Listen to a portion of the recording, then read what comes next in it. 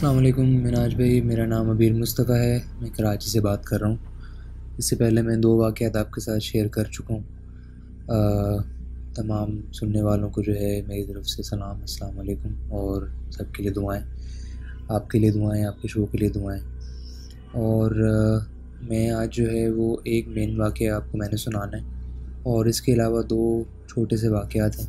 वो भी मैं सी ए की वॉइस नोट के अंदर शेयर कर रहा हूँ। होपफुली आज रात को जो शो होगा उसके अंदर आप इनको प्ले कर देंगे या अगर आप हॉरर टेप्स वाले सेशन में भी इनको प्ले कर देते हैं तो तब भी कोई मसला नहीं। खैर पहला वाक़ मेरा मिनाज भाई मेरी फियांसे हैं उन्होंने मुझे बताया था। आ, ये वाक़ कुछ यूँ है कि वो आठ साल की जब वो थी मेरी फियांसे और उनका एक भाई जो कि उनसे एक साल बड़ा है वो तकरीबन नौ साल का था। उस वक्त वो तेरह डी में रहा करते थे। एग्जैक्ट एड्रेस उनको भी नहीं आता, एग्जैक्ट एड्रेस मुझे भी नहीं पता। वहाँ पे वो एक घर में रहा करते थे। जैसे जो अपार्टमेंट कॉम्प्लेक्सेस होते हैं बड़े बड़े उनकी जो एक आउटसाइड वॉल होती है और जो बाहर निकलने का दरवाज़ा होता है, उसके साथ जो दीवार होती है वहाँ पे जो है मतलब उसी के बिल्कुल ऑपोजिट सामने मतलब ग्राउंड फ्लोर पे उनका फ्लैट हुआ करता था, घर हुआ करता था अपार्टमेंट वहाँ वो लोग रहते थे। तो वो जो उनकी घर की विंडो होती थी वो उन्होंने मुझे बताया कि जो वॉल होती थी बिल्डिंग की जिस वॉल में जो है उस बिल्डिंग का गेट भी होता था, वो वॉल कोई होगी आठ, नौ फुट की जो होती हैं दीवारें नॉर्मल अपार्टमेंट कॉम्प्लेक्सेस की वो वॉल जो है उनकी विंडो से देखा करती थी, बिल्कुल सामने सामने ही, क्योंकि उनका जो अपार्टमेंट था वो ग्राउंड फ्लोर पे था, दरवाज़ा उनके अपार्टमेंट का जो है बिल्कुल मतलब ग्राउंड फ्लोर पे ही खुलता था। तो वो ये बताती हैं मुझे कि जब वो उनका जो भाई है, वो खेल रहे होते थे तो उनको जो है अक्सर अवकात मतलब रात के टाइम पे, मगरिब के वक्त, मगरिब के बाद, एक औरत दिखाई देती थी, उस दीवार के पार। उस औरत का फेस जो है ना, वो एक काले बुरके के अंदर ढका हुआ होता था, और वो जो जाली वाले बुरके होते हैं काले कलर का वो बुरका होता था, वो उन्होंने पहना हुआ होता था। वो वाकई में औरत थी या नहीं, उन्होंने जो है वो मुझे फ़र्ज़ी तौर पर इस तरह बताया कि उनको एक मतलब शख्स दिखता था केले तो आप सोचें कि एक दीवार जो कि तकरीबन नौ दस फुट की है, उसके ऊपर जो है फिर खारदार तारें भी लगी हुई हैं। तो उसके पीछे से ना मतलब खड़े होके कोई मतलब देख रहा है, काले बुरके में, जो जाली वाला बुरका होता है, उसमें। तो वो उनको ना खड़ा हुआ वहाँ से कोई देखता था। तो वो ज़ाहिर सी बात है, बच्चे थे तो उनको जो है वो इतना अंदाज़ा भी नहीं था कि जो है वो एवरेज हाइट वगैरह कितनी होती है लोगों की। वो ये समझते थे कि भाई हाँ होती होगी, इतने लंबे लोग भी होते होंगे। उस वक्त तो उतनी अकल नहीं होती इंसान को, उस एज में। तो एक नौ या दस फुट का कोई शख्स मतलब इतना कि दीवार से जो इस तरह ऊपर से झाँक के कंटिन्यूसली उनको देखता था या देखती थी। मगरिब के वक्त या मगरिब के बाद का जो वक्त होता है उसमें। तो ये सिलसिला जो है वो हफ़्ता, डेढ़ हफ़्ता चला और वो और उनके भाई जो हैं वो ये समझते थे कि होगा कोई मांगने वाला होगा या कोई और इंसान होगा। काफ़ी क्रीपी भी लगता था, काफ़ी डर भी लगता था, लेकिन वो बच्चे थे तो अम्मी अबू को बताते तो वो उनकी बात मानते नहीं थे। एक दिन क्या हुआ कि उनको, उनकी अम्मी को जो है वो मगरिब के वक्त कॉल आती है और जब वो कॉल उठाती हैं तो उस कॉल पे मतलब वो हेलो हेलो कर रही हैं सलाम बोल रही हैं कह रही हैं भाई किससे बात करनी है? कोई आगे से जवाब नहीं दे रहा सिर्फ़ किसी के सांस लेने की आवाज़ आ रही है। और सांस भी इस तरह लेने की कि मतलब किसी ने बिल्कुल जो टेलीफोन का जो माइक वाला हिस्सा होता है वो बिल्कुल अपने मुँह के करीब किया हुआ है मुँह के अंदर घुसाया हुआ है और कोई जो है ना मुँह से सांस ले रहा है। तो आ, ये एक दिन हुआ तो उन्होंने समझा कोई मज़ाक कर रहा होगा उन्होंने रख दिया फ़ोन अगले दिन फिर यही कहानी हुई उसी वक्त उन्हें कॉल आई। कोई फ़ोन के अंदर सांस ले रहा है। तकरीबन तीन से चार दिन तक ये कहानी चली और उनको काफ़ी खौफ भी आने लगा। पाँचवें दिन वो लोग इसी चीज़ के इंतज़ार में थे कि अब फ़ोन बजेगा, अब फ़ोन बजेगा, अब फ़ोन बजेगा। उसी टाइम पे फ़ोन बजता है पाँचवें दिन। और जब वो फ़ोन उठाती हैं इस बार तो उस फ़ोन कॉल पे जो उस तरफ़ बंदा है या बंदी है, जो भी है, वो एक भारी आवाज़ में बोलता है कि हमारे दो बच्चे, खिड़की से मुझे रोज़ दिखते हैं। और खेलते हुए मुझे बहुत प्यारे लगते। ये कह के उस बंदे ने या बंदी ने आगे से जवाब सुनने का भी वेट नहीं किया, फ़ौरन कॉल रख दी। उस दिन उनको इतना खौफ आया है, इतना खौफ आया है कि उन्होंने अपने विंडोज़ उस दिन से लॉक करना स्टार्ट कर दी, दरवाज़े लॉक करना स्टार्ट कर दी और इतफाक़न जो है, उनको दो तीन महीने बाद जो है उस अपार्टमेंट से मूव आउट भी करना था। तो उस प्रोसेस को भी जो है ना, उन्होंने थोड़ा सा जल्दी जल्दी करना स्टार्ट कर दिया कि जल्दी यहाँ से निकले। उस बंदे ने बाकायदा जो है कॉल पे बात कही है कि तुम्हारे दो बच्चे मुझे विंडो से जो है खिड़की से खेलते हुए रोज़ दिखते हैं और ये दोनों मुझे बहुत अच्छे लगते हैं। और फिर फ़ोन रख दिया। तो ये एक बहुत अजीब सा वाक़ था। अब इसके अंदर किसी सुपर नेचुरल एंटिटी की इन्वॉलमेंट है या नहीं है, ये मैं नहीं कह सकता। हो सकता है कि कोई इंसान हो जिसकी अब नॉर्मल हाइट हो। लेकिन जो आसपास के लोग होते थे उनमें से कोई भी नहीं नोटिस कर रहा होता था। उसने मुझे मेरी फ्यानसे ने भी ये भी बताया कि जो बिल्डिंग में बाहर लोग चल फिर रहे होते थे। आप सोचें कि अगर एक नौ दस का फुट का बंदा खड़ा हुआ है आपकी बिल्डिंग की दीवार के उस पार तो आप उसको देख के थोड़ा हैरान तो होंगे ना कि यार ये कौन है? एक ऐब नॉर्मल हाइट है नौ दस फीट कोई नॉर्मल हाइट भी नहीं है। तो ये एक पहला वाक्य था। दूसरा वाक्य जो है वो मेरे अपने इसी घर का है। आ, ये एक छोटा सा वाक़ है मैंने आपको पहले भी इस घर का एक वाक़ मैं शेयर कर चुका हूँ। हुआ ये था कि मैं काफ़ी छोटा था और उस वक्त मेरी खाला और उनके तीन बच्चे अक्सर मेरे घर पे रुकने के लिए आया करते थे। तो हमारा मेरा जो कमरा है इस वक्त, वो उस वक्त मेरी नानी का कमरा होता था। एक दीवार के साथ तख्त लगा हुआ था, उसी तख्त के बराबर में एक सोफ़ा होता था और बाकी जो कमरे में जगह होती थी, वो बिल्कुल खाली होती थी।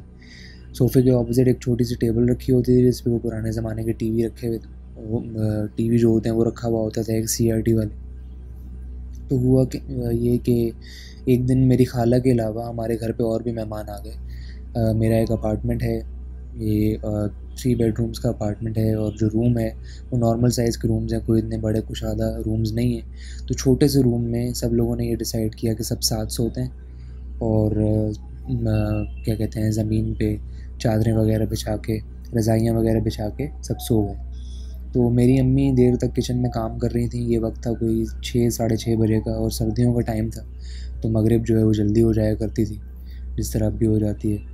तो मेरी अम्मी देर तक किचन में काम कर रही थी। जब वो आई कमरे में तो उन्होंने देखा देखा कि कमरे में जो है ना वो हर कोने में लोग जो है ना, कोई ना कोई सोया हुआ है। कहीं बच्चे सोए हुए हैं, कहीं कोई बड़ा सोया हुआ है। मतलब कमरे में पैर रखने की भी जगह नहीं थी। इतने लोग जो है वो कमरे में सोए हुए थे साथ। मेरी अम्मी को कहीं जगह नहीं मिली उन्होंने जो कमरे का जो दरवाज़ा है उसके करीब जो है ना उन्होंने जो दरवाज़ा मतलब बाहर निकलने का जो रास्ता है वहाँ पे उन्होंने एक रज़ाई बिछाई चादर बिछाई और वो वहाँ लेट के सो गई। उनको आधा ही घंटा हुआ होगा तो उनको जो है वो आ, ऐसा फील होता है कि उनको किसी ने मतलब लेटी हुई हैं वो और किसी ने ना उनको उनके कंधे पे पैर मारा है मतलब जैसे कोई गुज़र रहा होता है तो उनको कंधे पे किसी ने पैर मारा है और बोला रास्ता दो। तो वो उठी वो नींद में थी उनको समझ में नहीं आया कि पता नहीं कौन मुझसे बोल रहा है कोई शायद नमाज़ पढ़ने के लिए उठाया या क्या। जब उन्होंने आसपास देखा तो सब सोए हुए थे। उस एक कमरे के अलावा और किसी कमरे में कहीं भी, भी कोई नहीं था। सारे मेहमान इसी एक कमरे के अंदर सो रहे थे। और मेरी अम्मी को यह फील हुआ है कि जैसे कोई गुजरा है और किसी ने बोला रास्ता दो। तो ये एक छोटा सा वाक़ था। मेन वाक़े पे मैं आता हूँ। मैं 2019 में अगस्त के अंदर, अगस्त 15 से लेके अगस्त के एंड तक, तकरीबन 2.5 वीक्स के लिए मैं जो है वो टूर पे गया था नॉर्दर्न एरियाज़ पे। मैं अपने कुछ दोस्तों के साथ गया था फैमिली फ्रेंड्स के साथ। मैंने जो है ना आपके रोज़ सीज़न टू के एपिसोड्स तेरह या चौदह कन्वर्ट करके ना एम थ्री फॉर्मेट में अपने फ़ोन में डाल लिए थे कि ये जब मैं ट्रैवल कर रहा हूँ एक जगह से दूसरी जगह तो आपको पता है रास्ता जो होता है बहुत लंबा लंबा होता है और हम लोग क्या कहते हैं हाईएस्ट में गए थे। तो आ, बैठे बैठे जो है ना वो इंसान बोर हो जाता है। तो मैंने जो है ना उसी दौरानिया में आपके वो शोज़ सुने थे जिसके अंदर बहुत सारे लोगों ने नारायण का खान वगैरह के कुछ होटल्स का ज़िक्र किया था जहाँ पैरानॉर्मल एक्टिविटीज़ होती हैं। तो मेरे दिमाग में ये था कि भाई मैं भी यहाँ पे रुकने के लिए जा रहा हूँ पता नहीं कुछ हो या ना हो। खैर मैं एग्जैक्ट एक होटल में रुका भी था जिस uh, जो एक बंदे ने जो है ना वो आपके सीज़न टू के एक एपिसोड में मेंशन किया था नाम भी। सीज़न टू के एपिसोड में या सीज़न थ्री के स्टार्टिंग के किसी एपिसोड में आपने या शायद किसी और बंदे ने एक होटल का नाम भी मेंशन किया था नारायण या कागान में। वहाँ मैं रुका भी था एग्जैक्ट उस होटल में लेकिन मेरे साथ वहाँ कुछ भी नहीं हुआ। मेरे साथ जो वाक़ हुआ वो हुआ फेरी मेडोज़ के अंदर। अब अगर आपको फेरी मेडोज़ का पता हो तो ये एक रिज़ॉर्ट है। बेसिकली और दुनिया की बहुत खूबसूरत जगहों के अंदर तीसरे नंबर पे इसका नाम आता है और फेरी मेडोज़ रिज़ॉर्ट जो है वो बिल्कुल उससे जो है ना नांगा पर्वत बिल्कुल साफ़ सामने सामने दिखता है। तो हम वहाँ गए थे। अब आपको पता है कि रात के टाइम पे जो है वहाँ जो होटल्स हैं, जो मतलब निचले इलाकों के अंदर जो होटल्स हैं, वहाँ पे ही इतनी खामोशी हो जाती है। तो आप सोचें कि एक ऐसी जगह, एक ऐसा रिज़ॉर्ट आप गूगल भी करके देख लीजिएगा। वो बिल्कुल पहाड़ी के ऊपर है और उस तक पहुँचने के लिए ना आपको तीन, चार या पाँच घंटे की ट्रैकिंग करनी पड़ती है। जो लोग फेरी मेडोज़ गए होंगे, जो सुन रहे होंगे, उनको पता होगा मैं क्या बात कर रहा हूँ। अगर आप घोड़े से भी जाते हैं बैठ के उस ट्रैक पे तो आपको तकरीबन घोड़े पे भी दो से ढाई घंटे लगते हैं और पैदल आपको चार से पाँच घंटे लग जाते हैं। जब मैं 2017 में गया था तो मुझे पाँच घंटे तकरीबन लगे थे पैदल जाने में। अभी जब मैं 2019 में गया था तो मैं घोड़े से गया था। पहुँचते पहुँचते हमें वहाँ पर रात हो गई। हम लोगों ने रात का खाना खाया। वहाँ पे एक बड़ा सा किचन बना हुआ है, जहाँ पे डाइनिंग हॉल भी है साथ ही, और उसको वहाँ के लोग जो है वो मेस बोलते हैं, और वहाँ पे खाना वगैरह जो भी होता है लंच हो या डिनर हो या ब्रेकफास्ट हो, आपको वहीं जाके करना होता है। वहीं किचन में आपके लिए पकाया जाता है, आप वहाँ उसके लिए पे करते हैं, और वहीं बैठ के आप खाते हैं। तो जब हम लोग रात को वहाँ पहुँचे तो हमारे अलावा एक और ग्रुप भी आया हुआ था लाहौर से और वो लोग बैठ के वहाँ पे जो है इन्हीं जन्नात वगैरह की बातें कर रहे थे तो हम भी उनके साथ जो है सलाम दुआ हुई उनसे उनसे उन्होंने पूछा, कहाँ से आ रहे हैं आप लोग? क्या है? तो उन्होंने मैं बताया कि उनके साथ कुछ वाक़ात हुए हैं छोटे मोटे वाक़ात वो बता रहे थे। तो उस वक्त जो है जन्नात की बातें चल रही थी मतलब तकरीबन एक घंटा हम लोगों ने बैठ के बातें की होंगी। उसके बाद दस या ग्यारह बज गए, बिल्कुल वहाँ पर अंधेरा हो गया। पहाड़ों के दरमियान वो जगह है, वहाँ पे जो है ना मुश्किल से जो है दस पंद्रह कदम बाद एक आपको कहीं लाइट बल्ब जलता हुआ नज़र आएगा किसी कॉटेज के अंदर या किचन के अंदर। हमने एक कॉटेज लिया। आ, उसके अंदर एक कॉटेज के अंदर मैं और मेरे दो दोस्त थे जो कि मेल थे और तीन चार हमारी फैमिली फ्रेंड्स क्योंकि हम गए थे तो लड़कियाँ थी तो उनका कमरा जो है वो तीन चार लड़कियों का अलग था जो कॉटेज था। तो रात को जब सोने का वक्त आया तो मैं और मेरे दो दो दोस्त थे उनमें से एक गिटार लेके आया हुआ था बंदा वहाँ बॉन फायर होती है। तो वो गिटार लेके वहाँ पे चला गया और एक मेरा जो दोस्त है वो अपनी फ्यानसे के साथ आया हुआ था तो वो उनके साथ बाहर था। मैं उस कमरे में उस वक्त अकेला था, मैं कपड़े वगैरह चेंज कर रहा था और मैं सोने की तैयारी कर रहा था उस वक्त क्योंकि मैं बहुत थक गया था। और अगले दिन हमने सुबह सुबह उठ के ट्रैक पे जाना था बयाल कैंप बयाल कैंप जो है वो फेरी मेडोज से ही दूर है मतलब ट्रैक करके आपको जाना पड़ता है। तो मैं उसके लिए रेस्ट करने के लिए तैयारी पकड़ रहा था। जब मैं लेटा हूँ मनाज भाई वहाँ पे छोटे छोटे से बेड्स होते हैं वहाँ मैं लेटा मैंने रज़ाई जो है ऊपर ले ली बहुत सर्दी थी। आ, मैंने आँखें बंद की हैं और तकरीबन मुझे पंद्रह से बीस मिनट होंगे। अच्छा कॉटेज के अंदर लाइट नहीं जल रही थी। सही लाइट मैंने मैंने जो है वो बंद कर दी थी। मुझे जो है वो वैसे तो खौफ नहीं आ रहा था क्योंकि मैं पहले भी जा चुका हूँ वेरी मेडोज और मेरे साथ ऐसा कुछ भी नहीं हुआ वहाँ पे। आ, मैं लेटा हुआ हूँ तो कुछ देर के बाद जो है ना मुझे जो दरवाज़ा है कॉटेज का उसके ऊपर नॉक की आवाज़ आती है। और एग्जैक्टली exactly तीन नॉक्स यानी एक या दो नॉक नहीं मतलब इस तरह इस तरह। तीन नॉक्स की मुझे आवाज़ आती है और मैं जो है वो चौंक के उठ जाता हूँ कि पता नहीं, शायद मेरे जो दोस्त जो गिटार लेके गए हुए थे, शायद वो आया है दरवाज़े पे। तो मैंने, मैं उठा, मैं बहुत नींद में था, गिरता पड़ता जो है मैं दरवाजे तक पहुँचा, दरवाज़ा मैंने खोला तो बाहर कोई भी नहीं। अच्छा मैं आके लेट गया वही बात में लकड़ी के कॉटेजेस बने हुए होते हैं, सर्दी के अंदर जो वुड होता है, वो कॉन्ट्रैक्ट करता है तो उसके अंदर से जो है वो आवाज़ें आती हैं। हमारे घरों के अंदर अपने भी होता है तो मैंने बोला शायद वो होगा। लेकिन ये एलेबरेट तीन नॉक की आवाज़ें थी, लेकिन उस वक्त फिर मैंने यही सोच के उसको इग्नोर किया। दोबारा से जब मैंने अपनी आँखें बंद की तो मुझे दोबारा से तीन दफ़ा नॉक की आवाज़ आई। अब जो है ना, मैं थोड़ा सा चौकस हो गया कि पता नहीं कौन है, शायद कोई मुझे तंग कर रहा है, या शायद मेरे दोस्त ही मुझ पर मतलब कोई मज़ाक कर रहे हैं, कोई प्रैक्टिकल जोक जो है करने की कोशिश कर रहे हैं। तो वहाँ विंडो भी लगी हुई थी, उसी कॉटेज में। अब मैं विंडो से बाहर झाँक रहा हूँ तो मुझे दूर दूर तक मतलब कोई भी दिखाई नहीं दे रहा।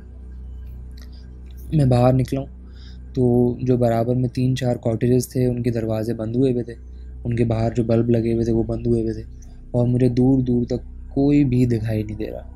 अंधेरा है, वहाँ पे सामने जंगल है और मुझे कोई दिखाई नहीं दे रहा वहाँ पे। मुझे उस वक्त इतना खौफ आया, मैं अंदर आया हूँ, मैंने दरवाज़ा अंदर से लॉक कर लिया। मैंने बोला, जब वो बाहर से आएँगे, तब वो नॉक कर देंगे, मुझे आवाज़ दे देंगे तो उनके लिए मैं दरवाज़ा खोल दूँगा। अब जब मैं लेटा हूँ मिनाज भाई थोड़ी देर में और मैं कंटिन्यूसली विंडो की तरफ़ देख रहा था मिनाज भाई मुझे विंडो से पाँच मिनट गुजरे होंगे, या शायद इतना टाइम ना गुजरा हो, मैं बहुत नींद में था। मुझे टाइम का कुछ पता नहीं था कि कितना टाइम गुजर रहा है। मुझे विंडो से एक छोटे से बच्चे का ना सर नज़र आता है मतलब बाल नज़र आते हैं। सही है? बाल नज़र आते हैं मुझे और मतलब जिस तरह बच्चे नहीं पीछे किसी दीवार से लग के या आपके साथ जो है वो, क्या कहते हैं उसको, अगर आप पे किसी किस्म का प्रैंक करने की कोशिश कर रहे होते हैं, आपको डराने की कोशिश कर रहे होते हैं, कोई शरारत करने की कोशिश कर रहे होते हैं तो पीछे से ना मुझे ऐसा लग रहा है कि कोई बच्चा छुप के ना मुझे देख रहा है। बाकायदा उस बच्चे ने अपना सर ऊपर किया है मनाज भाई। मुझे दो आँखें दिखाई दी जो कि येलो कलर में ग्लो कर रही थी। मतलब बाकायदा इस तरह के, जिस तरह गाड़ी की हेडलाइट्स होती हैं ना, उस तरह। उनको आप छोटा कर दें हेडलाइट्स को। दो येलो कलर की आँखें मुझे दिखाई दी हैं मिनाज भाई। और मैं जो है ना मतलब बिल्कुल फ्रोज़न था उस वक्त। बिल्कुल साकित हो गया था कि मैं ये देख क्या रहा हूँ। मेरा दिमाग रजिस्टर नहीं कर पा रहा था कि ये क्या हो रहा है। उस बच्चे ने कुछ सेकंडों के लिए जो है ना, वो ऊपर अपना सर करके देखा है और मुझे ऐसा लग रहा है कि ये सेकंड जो है, वो गुजर के ही नहीं दे रहे। दो या तीन सेकंड गुजरे होंगे, जो कि मुझे ऐसा लग रहा था कि पता नहीं कितने पंद्रह बीस मिनट गुजर गए।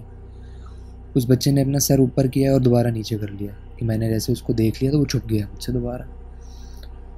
मैं परेशान हो गया, मैंने बहुत हिम्मत करके अल्लाह ताला का नाम लेके मैं बहुत बहुत अपनी हिम्मत बाँध के उठाऊँ बेड से। मैंने दरवाज़ा खोला है, बाहर निकल के देखा है, वहाँ ना बंदा, ना बंदे की ज़ात। वहाँ कोई बच्चे नहीं आए हुए थे। बच्चे वहाँ पे इतने आते भी नहीं हैं क्योंकि वहाँ पे ट्रैकिंग करना और घोड़े पे बैठ के आना भी वहाँ पे कोई इतना आसान काम नहीं है, बहुत मुश्किल काम है। बच्चे वहाँ पे बहुत कम आते हैं। अगर आप, जो, जिस तरह मैंने कहा, जो लोग सुन रहे होंगे, जो जा चुके हैं फेरी मेडोज़ या अगर आप जा चुके हैं तो आपको पता होगा कि वहाँ पे बच्चे इतने नहीं आते। बच्चे वहाँ गिने चुने आते हैं मतलब बहुत अरसे अरसे बाद बच्चे आते हैं। वहाँ पे अगर आप लोगों से जाके पूछें भी तो वहाँ पे सत्रह अट्ठारह सोलह, कम से कम पंद्रह साल के बच्चे, चौदह साल के बच्चे आते हैं, जो कि अपने आप का ख्याल रखते हैं। वो बहुत छोटा बच्चा था मिनाज भाई। तकरीबन सात या आठ साल का बच्चा था वो जो मुझे दिखाए मैं उसके बाद सोया नहीं हूँ एक घंटा। मेरा जो वो दोस्त गिटार लेके गया हुआ था बॉन फायर में, मैं उसका वेट कर रहा था कि वो जो है ना, वो वापस आए और उनके वापस आते आते मुझे कंटिन्यूसली बाहर से किसी बच्चे की भागने की आवाज़ें आती रही हैं एक घंटा कि कोई बच्चा भाग के जा रहा है, भाग के वापस आ रहा है, भाग के जा रहा है, भाग के वापस आ रहा है। कंटिन्यूसली जो है ना वो मेरे कॉटेज के सामने कोई बच्चा जो है ना शोर मचा रहा है, तंग कर रहा है। उसके बाद जो है ना वो फाइनली मेरे जब वो दोस्त आए, मैंने अल्लाह का शुक्र किया। मैं बहुत खौफ ज़्यादा था उस वक्त, मैंने उनके सामने वो शो नहीं की चीज़। लेकिन उसके बाद मैंने जो है ना नींद किस तरह पूरी की है सारी रात, वो मुझे पता है। और मेरा खुदा गवाह है उस चीज़ का। अल्लाह का शुक्र है कोई नुकसान नहीं पहुँचा मुझे। लेकिन ये मेरा वाक़ था। थैंक यू सो मच अपना ख्याल रखिएगा। बहुत सारी दुआएँ। अल्लाह हाफ़